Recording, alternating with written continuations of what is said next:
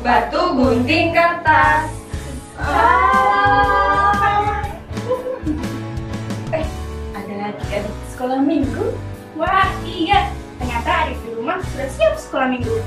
Kita malah masih main. Halo adik-adik, senang sekali bisa bertemu dengan adik-adik semua. Eh, yuk kita sekolah minggu bareng adik-adik semua di rumah. Yuk. Hmm, belum. Kak Elda mana nih? Nggak kelihatan. Oh, tadi aku lihat Kak Elda lagi kasih makan ikan. Yuk, kita lihat sana. Ikannya Kak Elda bagus-bagus loh. Coba yuk, aku juga pengen lihat. Yuk, yuk.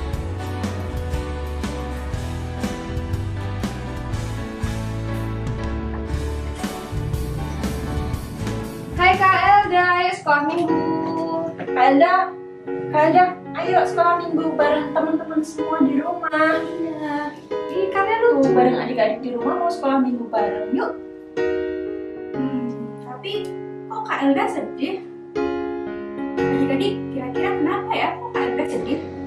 Helda, Helda, kenapa sih kamu diem aja? Kelihatan sedih banget.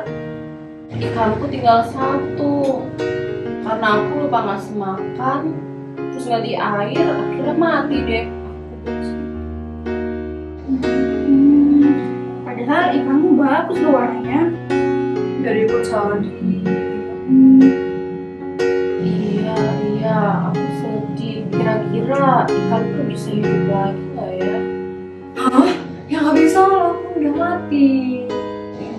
Oh iya, kalau soal hidup lagi, aku jadi ingat hari ini kita sekolah minggunya kan tentang Lazarus. Lazarus itu siapa? Itu loh orang yang sudah mati terus dihidupin lagi sama Tuhan Yesus. Hah? emang bisa beneran hidup lagi Bisa dong, Tuhan Yesus itu hebat banget. Apa aja bisa. Wah, terus ya? iya, Tuhan Yesus sayang banget sama Lazarus, sama saudara-saudaranya Lazarus. Pokoknya sama semua orang deh, termasuk kita dan juga adik-adik di rumah. Wah, terus terus gimana ceritanya? Mantap. Hmm, aku lupa. Kita sekolah minggu aja deh. Yuk, yuk, yuk, yuk. Eh, tapi aku pengen nyanyi dulu deh. Yuk, kita nyanyi bareng adik-adik di rumah. Lagunya berjudul Kasih Yesus. Oke. Yuk kita nyanyi yuk.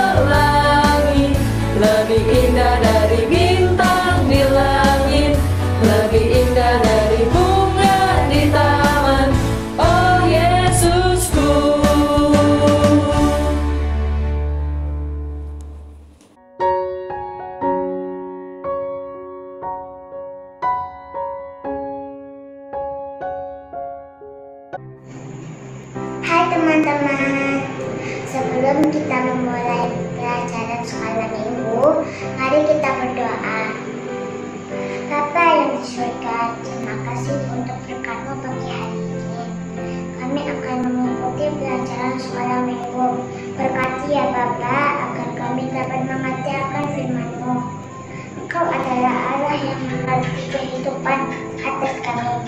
Doa ini kami panjatkan di dalam nama Tuhan Yesus kami berdoa. Amin.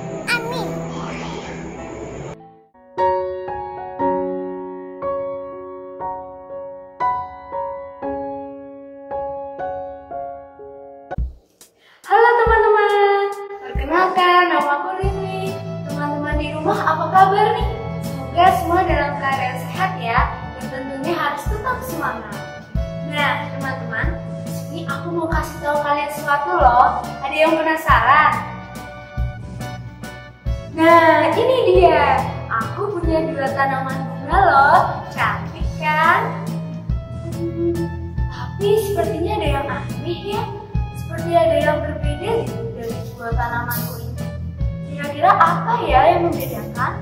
Teman-teman ada yang mau kasih tahu aku nggak? Apa ya?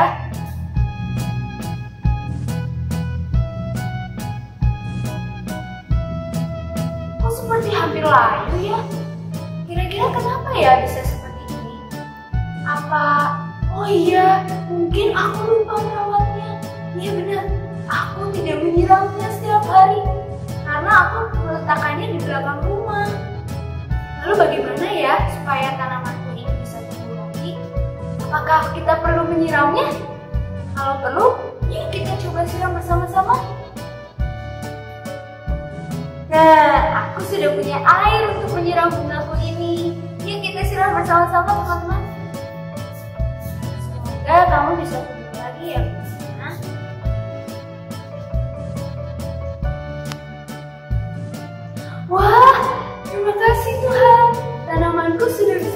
kembali. Teman-teman bisa lihat kan? Tanamanku bisa tumbuh cantik lagi seperti tanamanku yang satu ini. Untuk teman-teman di rumah yang punya tanaman dan hewan peliharaan, jangan lupa ya untuk selalu dirawat supaya tidak hampir mati seperti punyaku. Melihat tanamanku yang bisa tumbuh kembali, aku jadi teringat akan cerita Tuhan Yesus membangkitkan seorang yang sudah mati. Teman-teman tahu gak siapa yang dibangkitkan Tuhan ketika ia? Ya, namanya Lazarus. Yuk kita simak bersama-sama cerita tentang Tuhan Yesus membangkitkan seorang yang mati, yaitu Lazarus.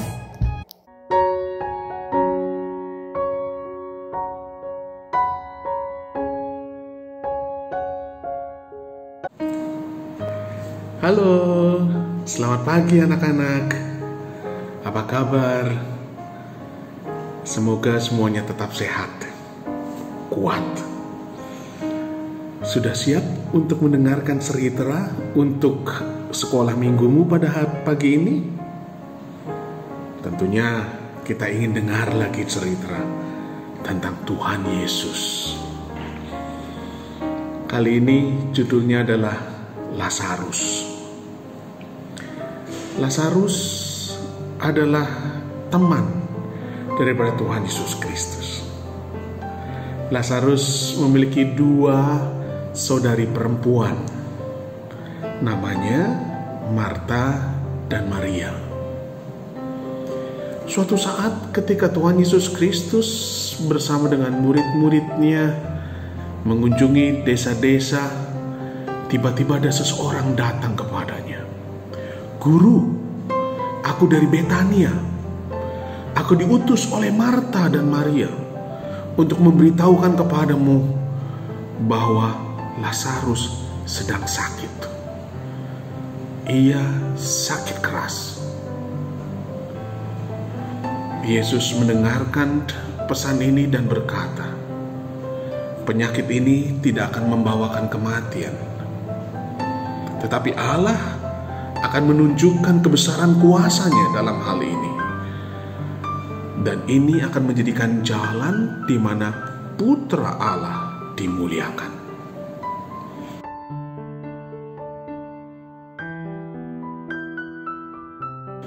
Anak-anak yang kekasih, tentu saja Tuhan Yesus mengasihi Lazarus. Tuhan Yesus Kristus pun juga mengasihi Marta dan Maria. Tetapi pada waktu itu, Tuhan Yesus tidak langsung pergi, tidak langsung mengunjungi mereka di Betania, karena mereka tinggal di sebuah desa yang namanya Betania.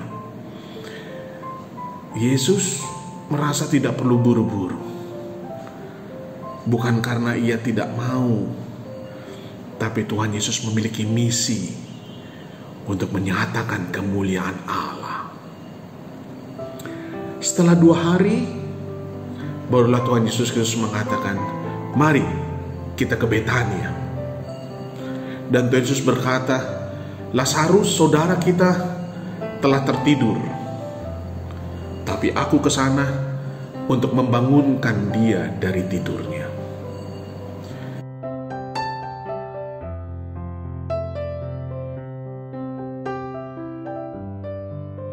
murid-murid Tuhan berpikir, "Oh, kalau tidur ya pasti dia akan sembuh."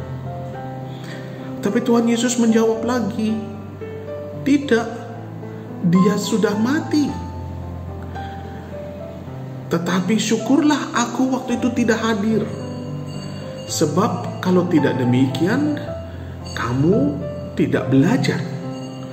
Tapi karena begini kamu dapat belajar untuk percaya marilah kita pergi ke sana. Tuhan Yesus pergi berjalan ke Betania. Di sisi lain, di Betania, Marta dan Maria sedang berduka. Saudara laki-lakinya Lazarus telah meninggal dunia. Empat hari sudah dikubur pada waktu itu dikuburnya bukan di kali tanah, tapi waktu itu kuburnya di gua. Lalu guanya ditutup oleh batu yang besar. Banyak orang bersama-sama dengan Marta dan Maria, dan ketika mereka mendengar Yesus datang, Marta langsung lari mendekati Yesus, dan ia berseru, "Yesus, jika engkau ada di sini, saudaraku pasti tidak mati. Itulah kepercayaan Marta. Ia bergegas menemui Yesus. Dan ia tahu bahwa Yesus dapat mencegah kematian Lazarus. Dan Marta mengatakan, "Tetapi sekarang Lazarus telah mati, tapi aku juga percaya bahwa Allah akan memberikan kepadamu segala sesuatu yang kamu minta daripadanya. Anak-anak yang kekasih, jawab Yesus apa? Yesus tidak menjawab ya ya ya, aku tahu. Tuhan Yesus mengata, tidak mengatakan tenang tenang, tidak. Tapi Yesus berkata, saudaramu Lazarus akan bangkit. Marta masih berpikir mungkin enggak ya orang yang sudah mati dapat bangkit lagi. Sehingga Marta berkata kepada Tuhan Yesus, Tuhan, aku tahu bahwa ia akan bangkit pada waktu orang-orang bangkit pada akhir zaman. Dengan kata lain, Marta ingin mengatakan ya, dia akan bangkit tapi nggak sekarang. Lalu Tuhan Yesus mengatakan, Akulah bebangkitan, akulah hidup. Barang siapa yang percaya kepadaku, ia akan hidup walaupun ia mati. Percayakah engkau kepada hal ini? Anak-anak yang kekasih, Marta menjawab, Ya Tuhan, aku percaya. Engkaulah Mesias, anak Allah. Dan setelah itu Marta pergi ke saudaranya Maria. Dan dikatakan kepada Maria, Maria, Maria, Yesus guru memanggilmu. Lalu Maria pun bergegas datang sambil menangis. Tuhan, sekiranya engkau di sini, saudaraku tidak akan mati. Tuhan Yesus tersentuh hatinya. Tuhan Yesus menjadi sangat terharu. Dan Tuhan Yesus berkata, "Di manakah Lazarus dibaringkan?"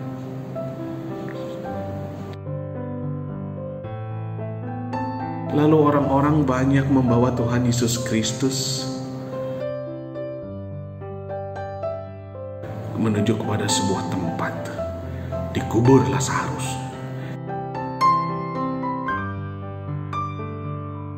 Yang tadi kita telah dengar kuburannya adalah gua yang telah ditutup dengan batu. Lalu Yesus mengatakan, angkat batu itu. Marta mengingatkan Tuhan Yesus, Tuhan, ia sudah mati empat hari. Tapi Tuhan berkata, tidakkah aku katakan kepadamu, jikalau kau percaya, engkau akan melihat kemuliaan Allah. Lalu orang membuka batu itu dari gua. Lalu Yesus berdoa dan mengadah ke atas. Aku mengucap syukur kepadamu ya Bapa, karena engkau telah mendengarkan aku. Aku tahu engkau selalu mendengarkan aku. Tetapi karena orang banyak yang berdiri sini mengelilingi aku, aku mengatakannya supaya mereka percaya bahwa engkau mengutus aku. Jadi Tuhan Yesus Kristus mengucap syukur. Tuhan Yesus Kristus berdoa kepada Bapaknya. Dan ia mohon agar orang banyak dapat mengenal bahwa Tuhan Yesus diutus oleh Allah.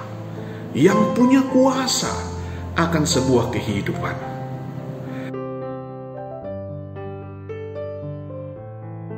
Setelah berdoa, Tuhan Yesus mengatakan,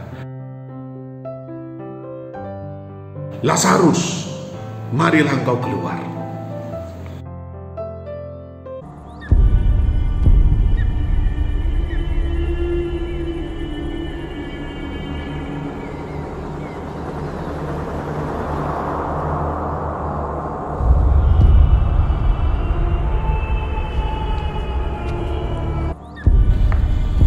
Anak-anak yang kekasih, apa yang terjadi? Setiap orang melihat kepada kubur itu, apa yang akan terjadi?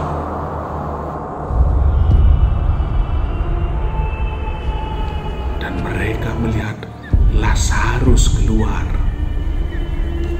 dan mukanya tertutup dengan kain peluh dan dia masih memakai kain kafan.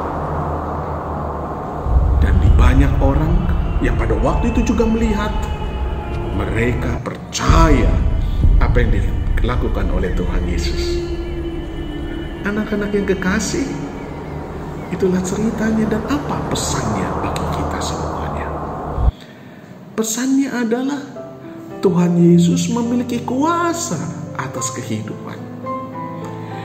Dan ia menginginkan agar kita, engkau anak-anak dan saya dan semuanya, papa, mama, kakak, adik, semuanya dapat memperoleh sebuah kehidupan. Dan kehidupan itu adalah hidup kekal yang berarti hidup bersama-sama dengan Allah. Hidup bersama-sama dengan Tuhan Yesus. Dan itulah merupakan sukacita yang besar bagi kita. Tuhan Yesus memberikannya kepada kita. Dan Tuhan Yesus Kristus yang memiliki kuasa atas kehidupan. Karena itu, anak-anak yang kasih, mari kita percaya kepadanya. Mari kita mengikut kepadanya. Mari kita senantiasa menengadah kepadanya. Dan di sana kita boleh bersuka cita. Sama kata Mara, Marta dan Maria.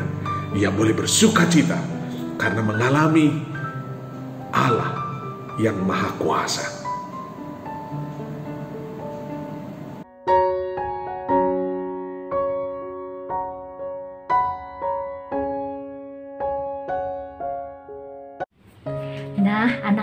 Kekasih, kalian baru saja mendengarkan cerita tentang Lazarus. Lazarus sudah mati, Namun karena kuasa yang dimiliki oleh Tuhan Yesus sebagai putra Allah, akhirnya Lazarus dibangkitkan kembali. Sekarang, siapa di antara kalian yang ingin memperoleh hidup yang kekal bersama Bapa di surga? Saya yakin seribu persen pasti kalian semua ingin masuk ke dalam kerajaan surga. Tapi sekarang, bagaimana caranya supaya kita bisa memperoleh hidup yang kekal bersama Bapa di surga? Ayo, ada yang tahu bagaimana caranya? Perhatikan baik-baik ya. Hidup yang kekal merupakan karunia dari Allah yang diberikan kepada kita sebagai anak-anaknya melalui Tuhan Yesus Kristus sebagai putranya yang tunggal. Dan kita harus yakin dan percaya bahwa kelak kita akan hidup selama-lamanya bersama Bapa di surga dan juga dengan Tuhan Yesus. Akan tetapi, ternyata percaya dan mengandalkan diri kepada Tuhan Yesus tidaklah cukup untuk membuat kita memperoleh hidup yang kekal. Selain percaya dan mengandalkan diri kepada Tuhan Yesus, kita juga harus meraih semua sakramen yang telah disediakan oleh Allah kepada kita. Ayo, ada tiga sakramen yang telah disediakan oleh Allah kepada kita. Kalian coba sebutkan ya. Yang pertama, apa coba? Yang kedua, ayo apa? Yang ketiga, yang terakhir, Ya, tepat sekali. Tiga sakramen telah disediakan Allah kepada kita adalah yang pertama tadi, baptisan kudus. Yang kedua, kematerian kudus dan yang ketiga adalah perjamuan kudus. Ketika kalian masih kecil, kalian telah dibaptis dan dimateraikan. Dan setiap kali kebaktian kita juga telah meraih perjamuan kudus. Nah, selain tiga sakramen tadi, supaya kita dapat memperoleh kehidupan yang kekal, kita juga harus menerima firman-firman Allah. Di mana coba kita dapat menerima firman Allah? Ya, benar sekali. Firman Allah diberikan kepada kita setiap kali kita kebaktian melalui mulut para hambanya yang diutus. Selain itu, kita dapat menemukan firman Allah di mana? Firman Allah juga dapat kita jumpai setiap kali kita membaca Alkitab. Siapa di sini yang suka untuk membaca Alkitab? Ayo, angkat tangannya. Hebat sekali. Kebiasaan untuk membaca Alkitab adalah kebiasaan yang baik. Dengan membaca Alkitab, kita dapat menemukan nasihat-nasihat dan petunjuk-petunjuk dari Allah supaya kita tahu apa yang harus kita lakukan setiap harinya sehingga dapat menyukakan hati Allah. Nah, ketika kita sudah melakukan semua kehendak Allah, kalian bisa yakin dan percaya ketika Tuhan Yesus datang untuk menjemput kita sebagai anak-anaknya, pasti kalian akan ikut untuk masuk ke dalam kerajaan surga. Ingat ya anak-anak ya, kita harus berjuang, kita harus bersetia hingga akhirnya sehingga kita semua dapat memperoleh hidup yang kekal.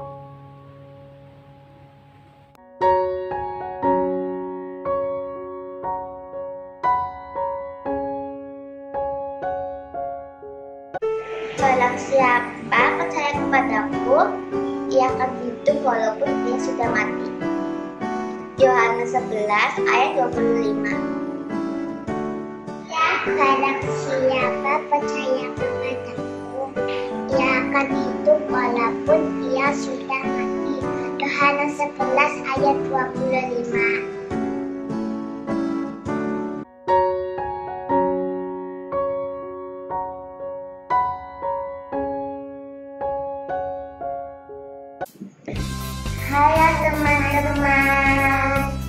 hari ini kita akan mengerjakan tugas malam minggu.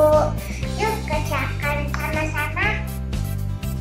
Soal pertama, Lazarus tinggal di sebuah tempat bernama Yuk cari di bank kata bersaudara, tertidur, atau bertania. Soal kedua, Yesus berkata bahwa Allah akan menunjukkan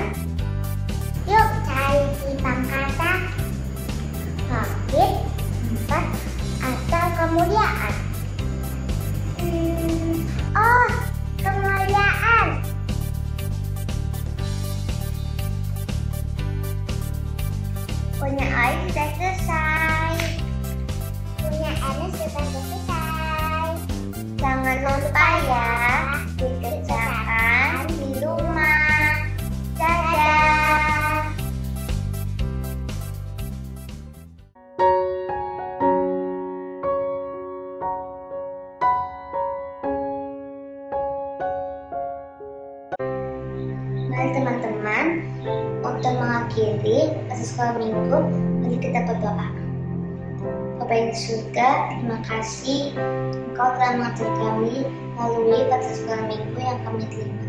Terima kasih untuk kehidupan yang kau berikan.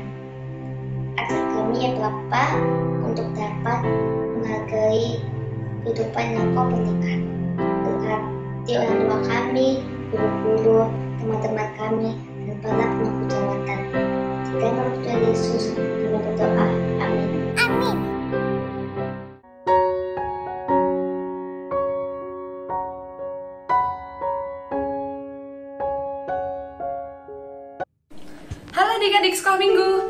Bagaimana sekolah minggu hari ini? Luar biasa ya. Tuhan Yesus telah membangkitkan Lazarus yang telah mati. Tuhan Yesus memiliki kuasa atas kehidupan. Tuhan Yesus hebat sekali ya.